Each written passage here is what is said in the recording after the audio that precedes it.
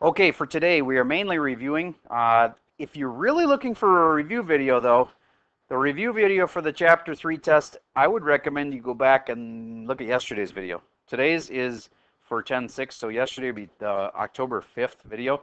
That had a lot of thorough review for the test. This is going to mainly focus on this kind. f of g of x equals g of f of x equals x. Do you remember me showing you that this is how you could prove two things were either inverses or they're not? You can prove it. All right, so I'd like you to try this for a practice one. This is review. Uh, if I give you f of x is 3x plus 7, I'd like you to figure out what you think g of x is. That's one of the test topics. is How do you make an inverse? Try to figure out an inverse. I'm going to show you the notation. It looks like this.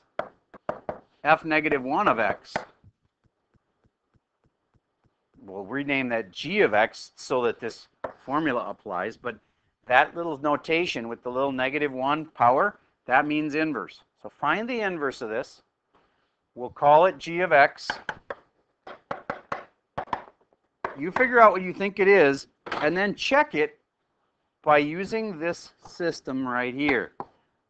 Find f of g of x, and you simplify it down in the right order, and you, hopefully you'll get x.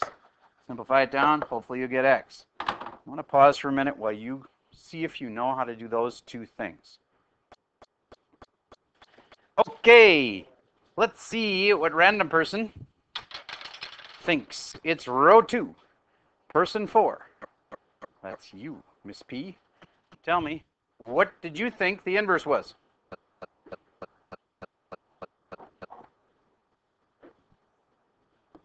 You know? Do you think you know?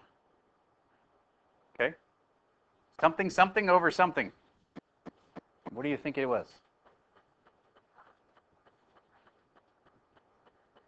Okay, let's talk it through quick. If this is y equals, then it's y equals 3x plus 7, and then you switch x and y around. That's how you get inverses.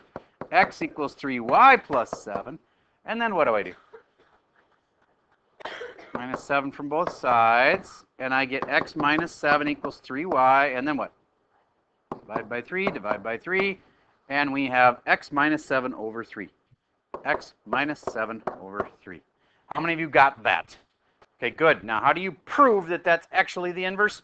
You go through this process right here, and you should have said the f function is x plus 7 over 3. And where am I going to stick the other function?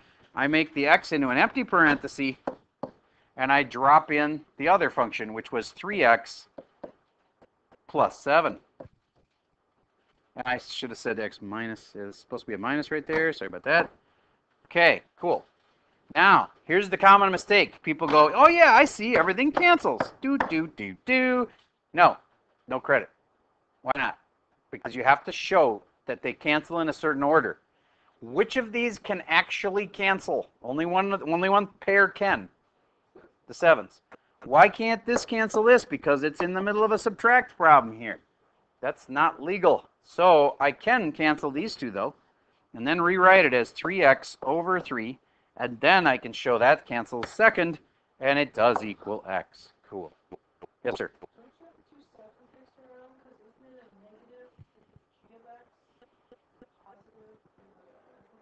I could have those two reversed. Thank you. Now that they're gone, I will act like it never happened that way. Was it supposed to be like that? Okay, excellent. All right. So, either way, they are positive and negative, and they will cancel. All right. Moving to the other side, just to show it real quick, in case anybody needs that closure of finishing the whole thing. I start with a g function, which is empty spot minus 7 over 3. Drop in the f function, which is 3x plus 7. And now the plus 7 and the minus 7 can cancel. And wait a minute.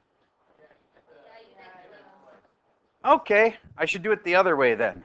So that means start with the 3 empty spot plus 7 and then drop in x minus 7 over 3. Sorry about that. Then, which of these two can cancel? The sevens or the threes? The threes. This could not cancel because that's part of a divide problem right now. Okay. Please don't talk when I'm talking.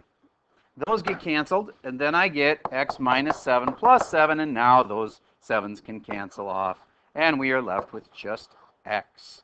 All right, x equals x is a great way to end this problem. It proves that you know they're supposed to equal x at the end, and it proves that f of g of x was equal to g of f of x. All right, so that is a typical one. Now, um, they can get more intense than that.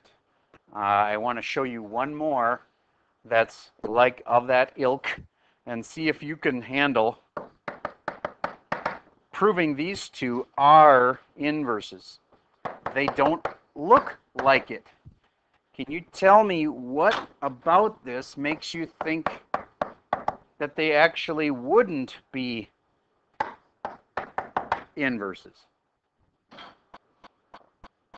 The bottom one seems messed up because Okay, yeah, this one's got two f of x, or two x's, and this one's only got one. That's weird. What else is strange about this for inverses? It's not normal, but yet they are inverses. Yeah, there's no one on the top, and there's a one on the bottom. That's weird. But think about this. You get how there's an x over an x, and that's actually kind of equal to 1. I mean, x over x is equal to 1. But there's an x over x in the top one, and that's why there's a 1 in the bottom one. All right, so anyway, I'm just saying I get that if you first blush, these do not look like they are inverses. Would you please prove that they actually are? Use that formula. And yes, it'll involve a little bit of heavy-duty algebra. This will be the type that would separate the A's from the B's on tomorrow's test. I will pause for a second, see if you can prove that you can be one of those A's. Okay, on this one, uh, I personally would, well, first of all, you have to, to get the credit for this, write out f of g of x equals g of f of x is equal to x. That proves you know what to prove. Then, let's do both sides. And as I put this one on the left, the g into the f function, I'm going to start with the f function, empty spot plus 3 over empty spot. You have to put the g function in both of those empty spots, which is 3 over x minus 1 and 3 over x minus 1. Okay. The easy way is to multiply and get rid of that denominator. Let me show you what I mean. I want to multiply by x minus 1 here, and multiply by x minus 1 here, and multiply by x minus 1 here.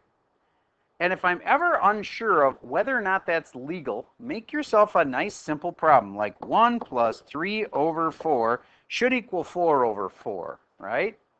Can I do this thing where I multiply each part by something? Let's sure, times everything by 2 then, and see if that's going to work. 2 plus 6 makes 8 over 8, and that's still equal to 1. You see how it's legal? I can do that.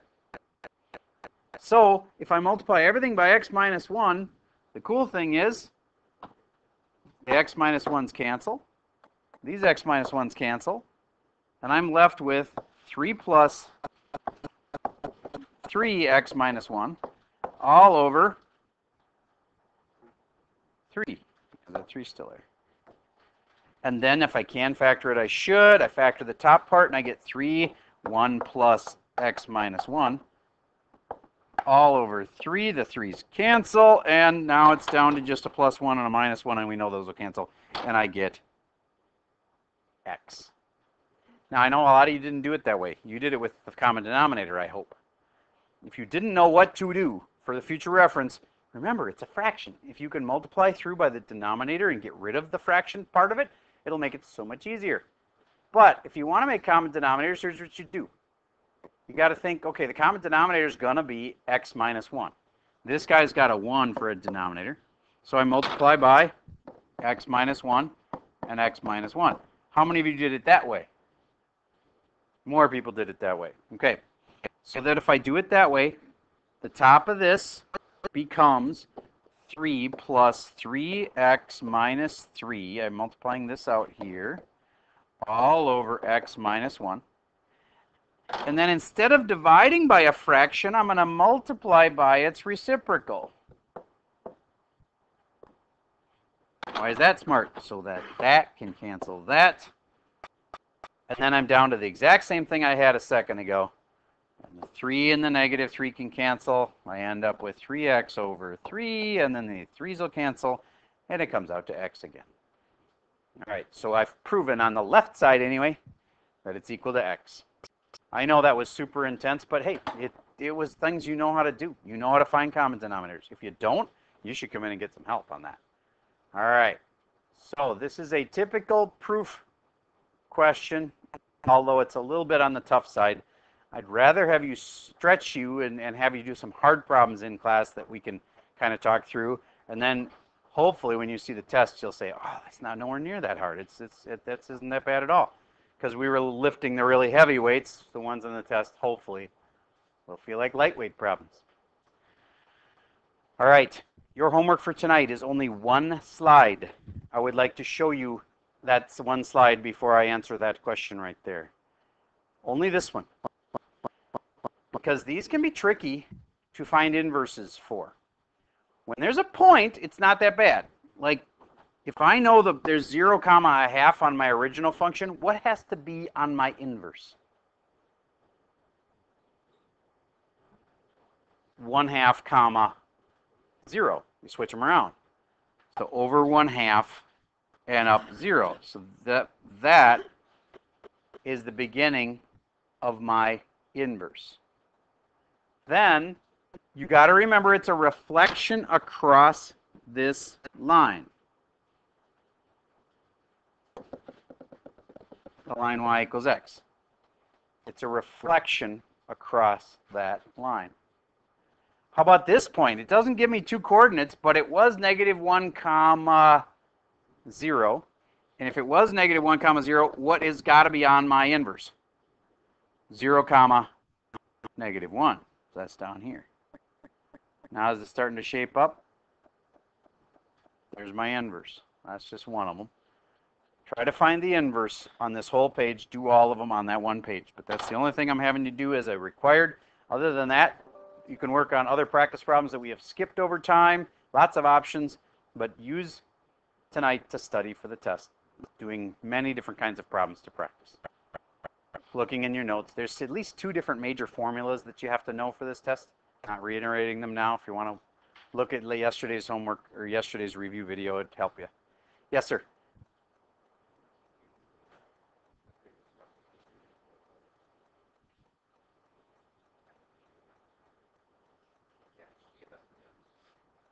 On the previous problem, which do you mean by the previous problem? All right, I think that's all I have for the video for today.